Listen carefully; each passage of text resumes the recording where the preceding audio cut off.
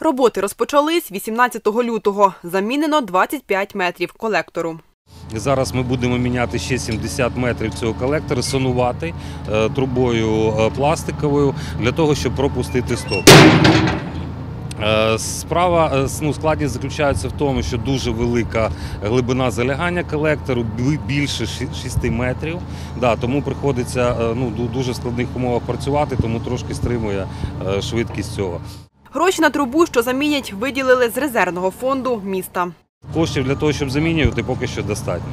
Причина аварії газова корозія. Наслідки для міста при процесі автоматично-хімічного руйнування металів і сплавів у колекторах, відключення води.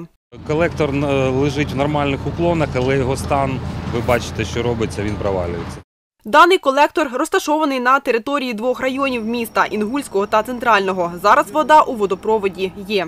Тому що ми перекачуємо, ми змогли трошки пропустити стоки, і е, достатньо ми їх перекачуємо. Я думаю, що мешканці не відчують того, що ми міняємо тут колектор. Нова пластикова труба розміром 475 мм розрахована на 50-60 років роботи.